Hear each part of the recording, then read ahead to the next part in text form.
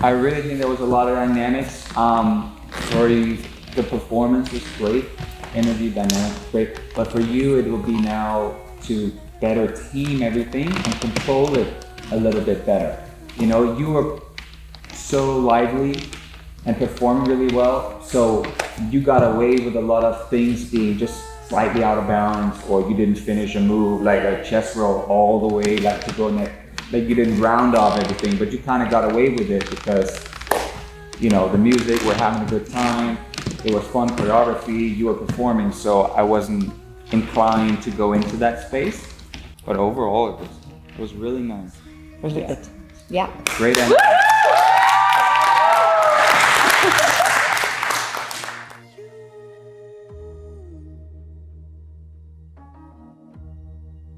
He tells